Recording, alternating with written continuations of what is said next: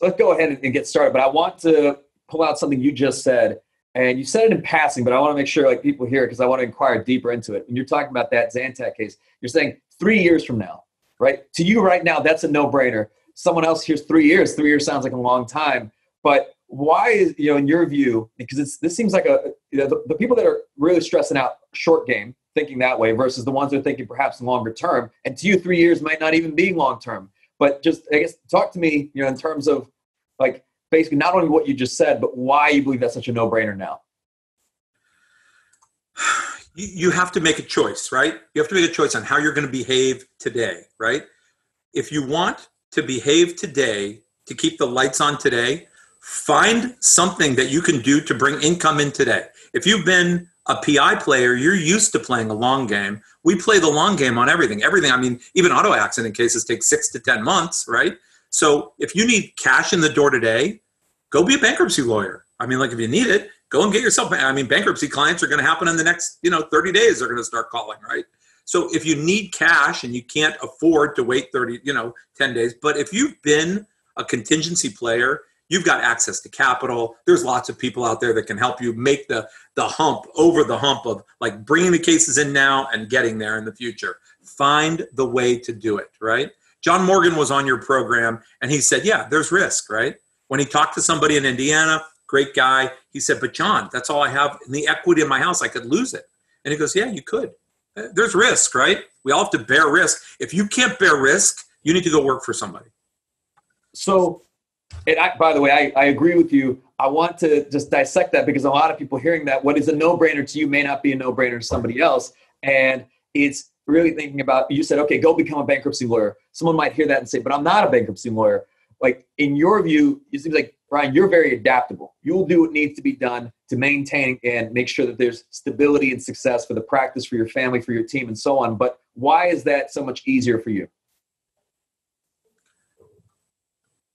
I I wish I could give you a good answer on why I'm adaptable. I mean, it, it's funny. My friend and I uh, talk about our wives, right? So my best friend and I are very adaptable people, and we would joke, you know, like if my wife comes in and the temperature is 69 degrees in the house, I'm comfortable, right?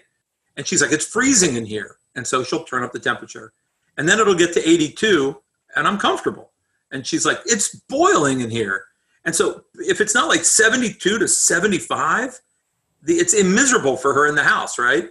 And I'm good, like 64 to like 87. I'm good. You know, like I'm just adaptable. Uh, I've got a good friend of mine.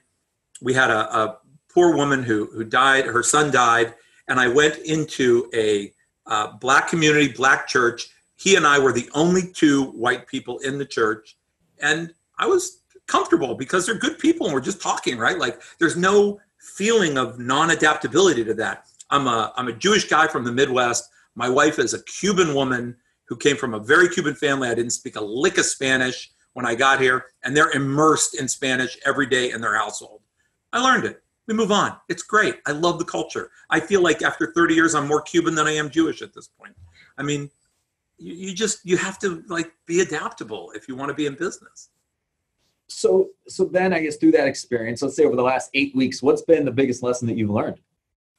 That there's more opportunity now than there was before the covid emergency. Okay, okay. there's more opportunity out there now because every black swan event like this leads to incredible opportunity right? And the only thing you need to know is that you have faith that this country is going to move forward and that we're going to have the same commercial environment in six weeks as we had 12 weeks ago. I mean, not, it could be changed in some way, but we're not going to be communists. We're not going to be taken over by government. We're going to be able to invest in our businesses, in our future. We're going to be able to create and build in this country. We have a wonderful platform of, of laws and rights that allow us a social compact to go forward in business and do good by our community. And the problems you solve the bigger the problem, the bigger the payday. So go solve some big problems and make a payday happen. Now, there's always people that are going to be watching this, and there's always the skeptic who's thinking, okay, that person, they won't say optimistic, they'll say delusional. But how is all this optimism and proactivity been working out for you? I mean, like I said, uh, we have one division of our firm that's 400% up right now. since COVID. So we're 400%. We're four times. We're doing four times the business that we were previously.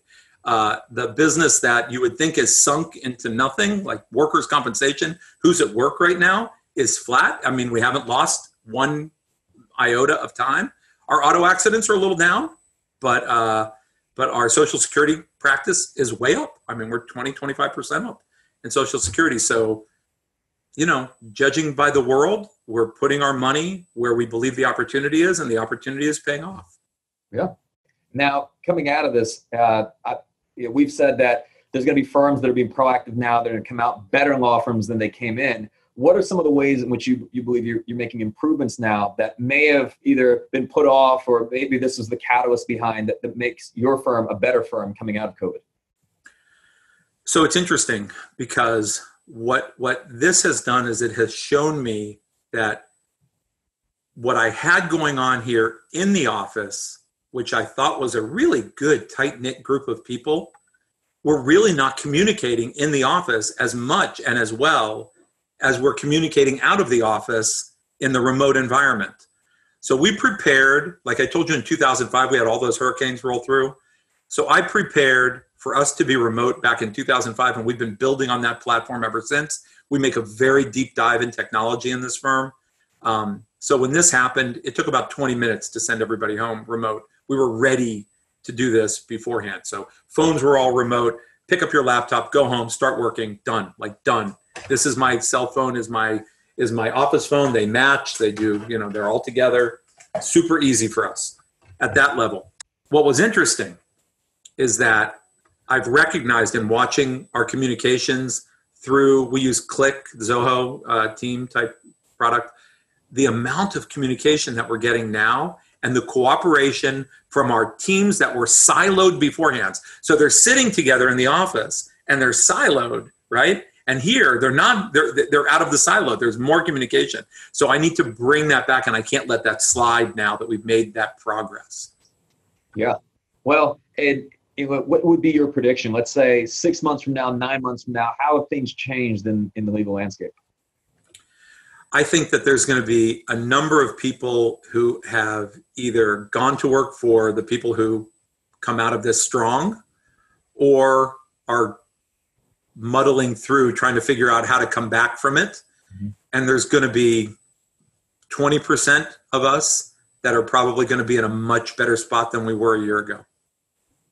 Now, let's uh, let's get offensive in the sense that I know you mentioned this earlier, and, and I want to dig into this, but you mentioned that many people are, perhaps should realize or are realizing that perhaps they're in the wrong role. Maybe they shouldn't be running an organization. Maybe they shouldn't be the leader. Maybe they shouldn't be the CEO.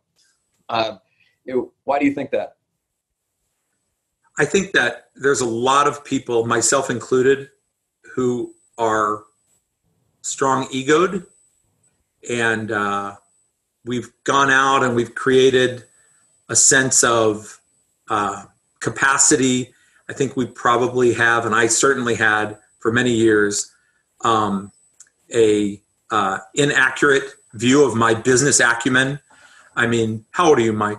Michael? 34.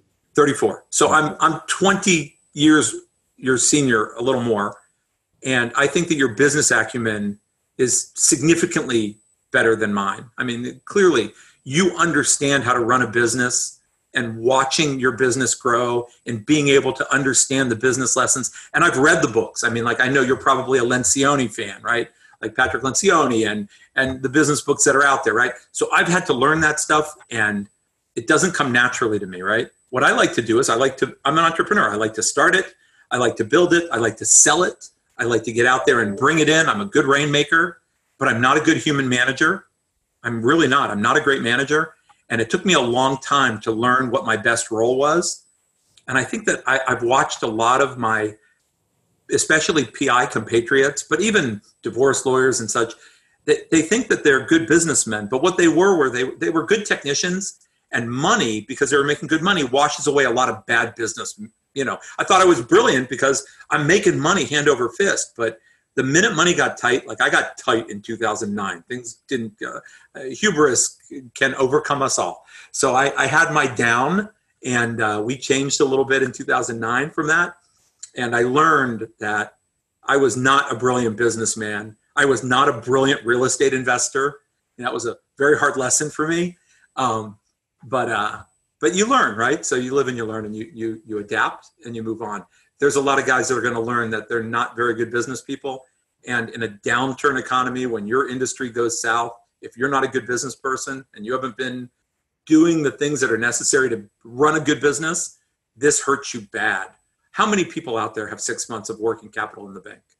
Yeah, yeah, you're exposed. I, I, I have an agreement. I mean, you're exposed. It, it, businesses are exposed, leaders are exposed, teams are exposed, and it's it's really if you gather gather enough acorns for the winter. If you ran your business in a way where there were the right systems set up, you you're cloud based, like that, you had contingency plans. You're probably doing fine. If you didn't do any of that stuff and basically ignored and said, "Hey, I don't have to ever worry about it," well, now you're you're probably in a world of pain, which you can get through, and you can put all those systems in place. Uh, but what we're seeing is not as many are. Like they're they're not saying, hey, you know what? Like this is a wake up call. We've got to make the business better because I never want to have the situation happen again. Many are just rolling over. You know, it's it's that preparation for the black swan, right? Like we, we think that things aren't going to happen, right? But they're they're always happening. Like when hasn't there been a black swan event? There's a constant stream of black swan events. You must make yourself um, anti-fragile you know, like I, I told you about the Taleb book. I love that concept of black swan events and learning to be anti-fragile so that you're prepared and the strong survive. And you look at these events as opportunities, not as tragedies. I mean, they're clearly tragic. I mean, God, uh, we all, our hearts go out for anybody sick and anybody that's passed and any family members that have passed. I mean, I don't know if you heard, but down here, there was a couple uh, that passed that were, uh, they, they passed hours apart from each other. They were related to one of my my paralegals, and so we all felt it here for her. So it's terrible, it's tragic, but it is what it is, right? It is an opportunity, and yeah. commercially, it's going to be a very significant opportunity for a lot of people in a lot of ways. And Brian, to close this out, so I know you're you're 20 years my senior, and yet you're still uh, schooling me on the Peloton. So I, I commend you. Uh, but what if what is what are some of the things that you've been doing to stay sharp? Well, exercise. I mean, you know what what was it? There's that six doctors that you should always, you know, go to to stay healthy and stay sharp. And one of them is diet, one of them is exercise, one of them is sleep, one of them is friends, you know. So you need to pay attention to all of these things that are are just healthy, smart ways of living, right?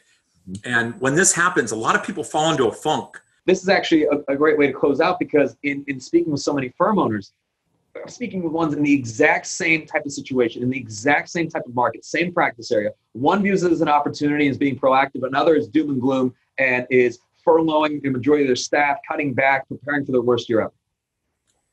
We've grown by six people. Yeah. I mean, I'm out there, man. Let's hire, hire. And if there's great talent out there, call me. Like if you're in South Florida and you are a paralegal, uh, you've got talent, you're a good person, and you got furloughed, give me a call. I love it. I love it, Brian. Thank you, sir. I'll use that as my advertisement for the firm because it's hard to find good people. I love it. Oh, Brian, this is awesome, man. Thank you very much. Thank you, brother. I'll see you Saturday morning.